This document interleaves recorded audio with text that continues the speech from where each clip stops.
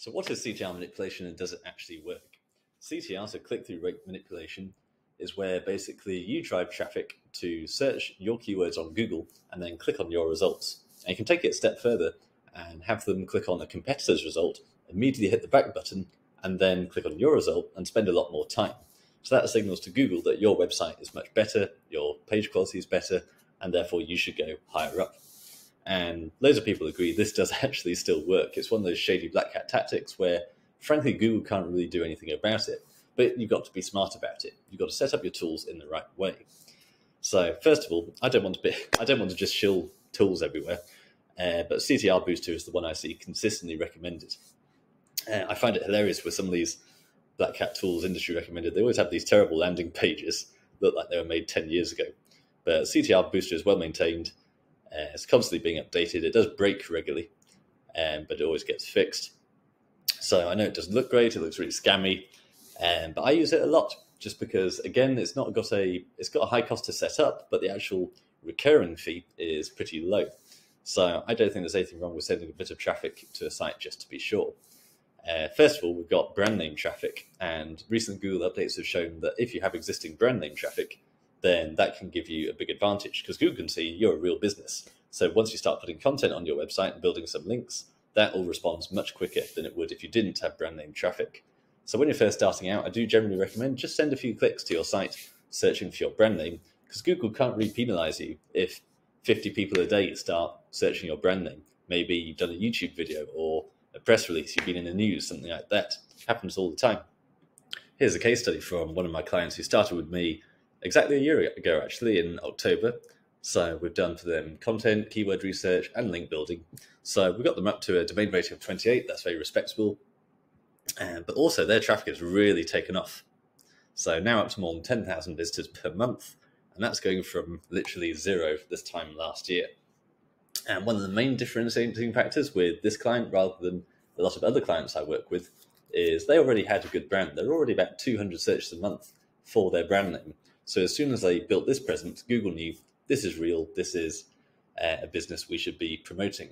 So in my case, starting an affiliate site from the ground up, that can be quite a grind to actually get that initial trust. So if you've got brand name traffic, then that can help. And CTR Booster is actually a great, great way to achieve that.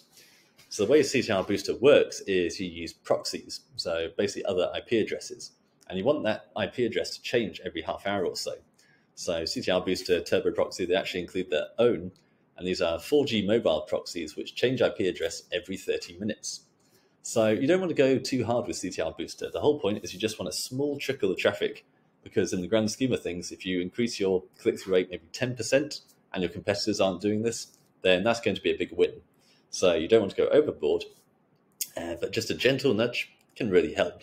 So realistically, you're only talking a small number of clicks per day, so if you spread it throughout the day and you change your IP address all the time, changing your location all the time, then there's no footprint there. Google's really going to struggle to actually punish you for that. If you want to be a bit more aggressive, you can use keywords. So if you're doing anything like parasite, then I'd recommend being quite aggressive with the parasite. And that's the case study I'm going to show you here. So how do you get started? You actually need a virtual private server, which I connect to with remote desktop. I use Contabo, just a cheap, cheap one. There's some good VPS providers in the description below. If I haven't done it yet, remind me and I'll add those in. And so we connect to remote desktop. And now this is CTR Booster, and you're actually going to see it working away in the background. It's going to come up with a window now and then when it kicks in. And this just works in the background on my virtual private server, which means if I close my laptop or I'm doing something else, it just carries on working. So I recently ranked number one for rhinoplasty North Korea as part of a competition and I did it by accident. I wasn't really intending to compete in this competition, but um, I got bored and thought, eh, maybe I'll give it a little go. And I did the bare minimum. I did a Money Robot blast. See my video on how that works on Money Robot, and then CTR manipulation. But because this is a LinkedIn page, I could be aggressive with the CTR manipulation because LinkedIn is a high traffic site. Google's not going to take it down. And now I gave a talk on this case study about a week ago in Bangkok, and just to make sure, I thought it'd be really embarrassing if I'm no longer number one for that keyword. So I did my slides the night before, checked again that morning just before I went on stage, and actually I was still number one, so all good. It was basically the day after I noticed I then dropped down to number two. And you've got to test this over multiple different browsers, things like that. It's very difficult to get accurate rank tracking like that. But also had a notification from CTR Booster that once again it had broken. So there seemed to be a correlation there where as soon as my CTR manipulation stopped, I dropped down again. And this article, which actually is a bit older, overtook me. So there's no such thing as a single variable experiment in SEO because you're always competing with Google, which is this big, ever changing machine. There's all these unknowns you can't possibly control. So it's very difficult to do any true testing. But just at a basic level, the best kind I can do, certainly, there, I saw there was a correlation. CTR booster stopped working, my ranking dropped. I set it up again once it was fixed. And then three days later, I'm back at number one. So I think there's uh, definitely some measurable proof there. For my actual settings, I've had to hide most of my projects here, but you can see there's daily visits here, where I'm sending, depending on the, the exact use case, anywhere between three and a couple of hundred visits per day. And then we have the total number of successful visits on the side here. And now here's how you actually set it up. So you click Add Project, and there's a range of different tools you can use within CTR Booster depending on what platform you're using. So I normally use the Google Ranker, and I just put in the right the keyword rhinoplasty North Korea, put in the LinkedIn page as my target.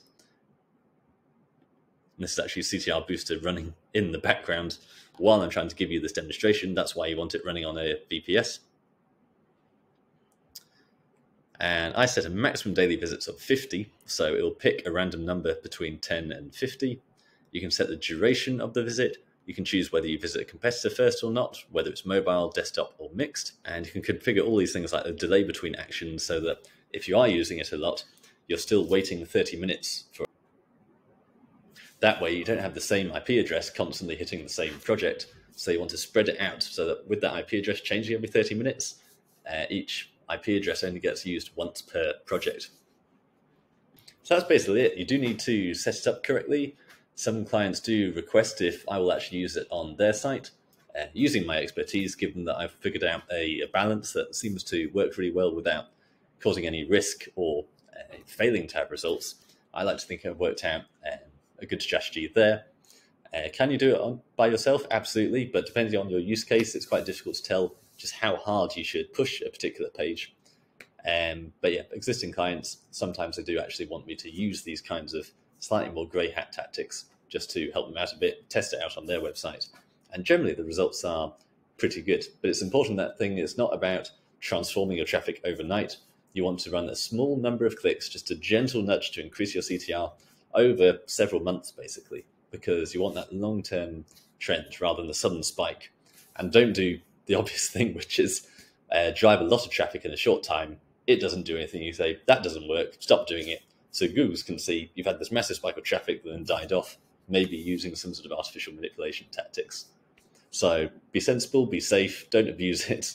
Um, but I'm generally a big fan of CTR manipulation. I think it's a really useful one of those just extra little things you can add in to your overall process, on top of the fundamentals, which are content and links.